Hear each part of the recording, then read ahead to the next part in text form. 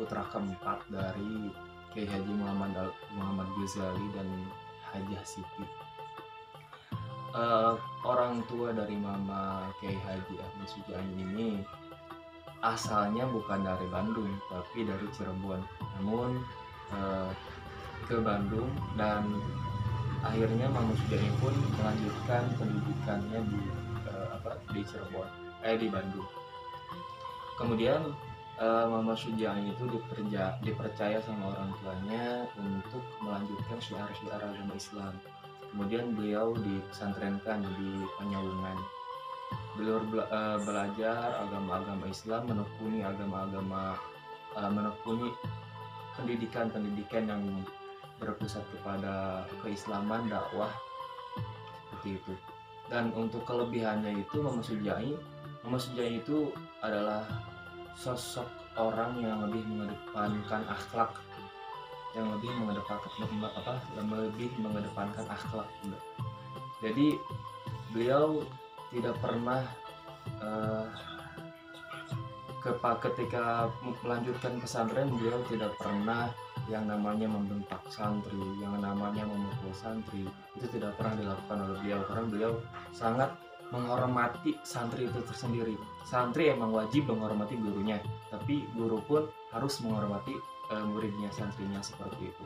Dan beliau sangat mengagum apa menjunjung tinggi e, akhlak seperti itu.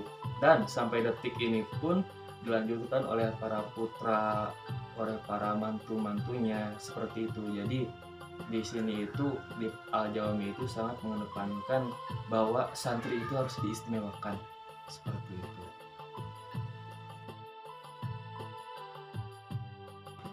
Untuk pemikiran tersendiri uh, uh, secara ini tidak ada ya secara khusus gitu. Secara khusus tidak ada. Mama Sujai mencetuskan sebuah pemikiran seperti itu. Namun mungkin pemikiran-pemikiran Ahmad Sujai ini Mama Mama Sujai ini lebih tertuang ke dalam tulisannya. E, selain dari syiar membeli lisannya juga melalui tulisan-tulisannya. Banyak beberapa kitab e, yang telah ditulis ya, oleh Mama Ahmad Sujai ini yang pertama uh, kita salah doa. Yang kedua kitab Irsyadul Awam. Nah itu kitab Irsyadul Awam juga uh, sampai tujuh jilid. Sampai tujuh jilid. Dan isi dari kitab Irsyadul Awam itu membahas tentang pertama usuluddin uh, asal-asalnya agama gitu ya kaidah-kaidah agama. Kedua fikih tata tata cara tata cara dalam beribadah tata cara dalam uh, ya beribadah. Selanjutnya dalam Isadul Awam juga dijelaskan tentang tasawuf. Nah itu eh, tentang tasawuf bagaimana kita mengelola eh, rasa yang ada di dalam hati kita seperti itu. Jadi jadi lebih ke tertuang ke dalam tulisannya seperti itu dan untuk secara khusus ya secara secara khusus pemikiran pribadi beliau dalam mencetuskan pemikiran itu tidak ada.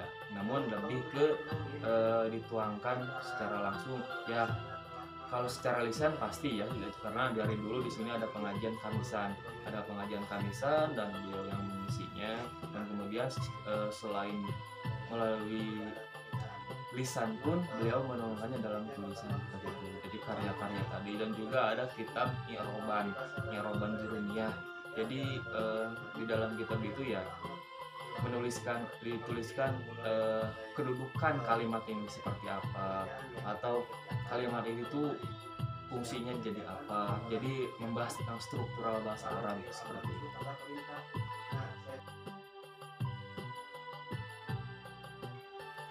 Untuk uh, pencetusan MUI itu sendiri uh, emang ada kontribusi jadi uh, sejak dulu itu di sini di pesantren ini itu tempat berkumpulnya para ulama-ulama.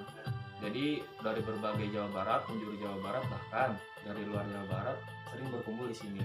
Nah, ketika perkumpulan itu, Mama Ahmad Sujud itu mencetuskan untuk bagaimana kita membuat MUI. Kalau bahasa dulu itu bukan MUI ya. Apa saya lupa bahasanya. Namun pas ada perubahan jadi MUI di dalam eh, bahasa Indonesia itu jadi Majelis Ulama Indonesia.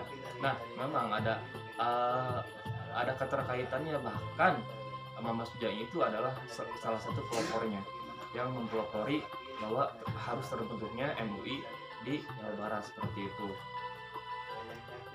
Uh, dan selanjutnya hubungan-hubungan itu bahkan uh, Mama Sujai pun di dalam ya di dalam cerita turun temurun sering berdakwah bersama Soekarno. Seperti itu sering berdakwah bersama Soekarno. Nah dalam berdakwahnya pun Mama Sujai tetap menggunakan bahasa Sunda ketika berdakwah bersama uh, Bung Karno atau Soekarno. Seperti itu. Uh, seperti uh, pesantren ini sebelum uh, Mama Mama Sujai ini pun sudah ada. Jadi Mama Sujai melanjutkan uh, kiprah dari orang tuanya seperti itu, melanjutkan uh, perjuangan dari Kiai Haji Muhammad Al Ghazali yaitu ayahnya dan Mama Sujai melanjutkannya. Seperti itu. Dan sekarang pada tahun ini sampai saat ini dilanjutkan oleh putranya yaitu Kiai Haji Muhammad eh, Kiai Haji Imam. Imam jadi turun temurun turun temurun diturunkan dan Mama Sujai itu lebih ke bukan mendirikan tapi melanjutkan pesantren melanjutkan perjuangan dari ayahnya Kiai Haji Muhammad Al Ghazali di sini uh, amalan-amalan itu dilakukan setiap subuh Kamis subuh hari Kamis setelah sholat subuh di sini ada uh, rutin ya rutin dan santri pun wajib mengikutinya. Uh, bacaan-bacaan istighosa bacaan ayat-ayat hirij dan bacaan ayat-ayat rizki. Seperti itu. Uh, harus diikuti oleh santri dan itu menjadi rutinitas setiap Kamis seperti itu. Dan kalau malam Jumatnya itu marhaba. Jadi uh, untuk uh, katakanlah ritual ya ritual khusus di dalam pesantren. Ya di sini lebih ke uh, istighosa ayat khirid sama ayat rizki. Di itu dan itu dilakukan pada Kamis subuh setelah sholat subuh